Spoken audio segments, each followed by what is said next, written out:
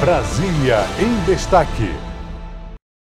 Acabamos de ter a assinatura da prorrogação do nosso alvará de pesquisa por mais três anos e também da nossa PLG.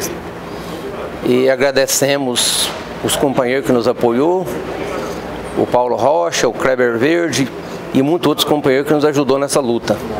E nós já tínhamos contato com as empresas que, no entanto, estão esperando para que assim que nós tivéssemos de posse de documentação, voltar a falar conosco novamente. Assim que nós pegarmos a cópia do documento, comunicaremos com as empresas, elas vão apresentar a proposta.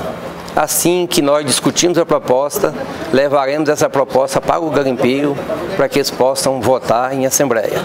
Agradecemos a Deus, agradecemos o empenho de muitas pessoas que nos ajudou e a expectativa é muito boa, podemos nos alegrar muito que vamos fazer um grande negócio e a vitória virá. Parabenizar o sindicato, sindicato de apoio aos garimpeiros lá de Curionópolis e Serra Pelada, para registrar a satisfação de poder fazer essa caminhada em conjunto e poder, nesse momento, brindar a satisfação nossa de ter o reconhecimento é, do Ministério da Energia ao outorgar, ao outorgar essa tão importante é, PLG e tão importante obra de pesquisa. Portanto, meus cumprimentos aos cooperativados dessas três cooperativas que recebem nessa oportunidade e aqueles que não receberam ainda, que permaneçam na luta e contem conosco, para que nós possamos fazer valer também os seus direitos.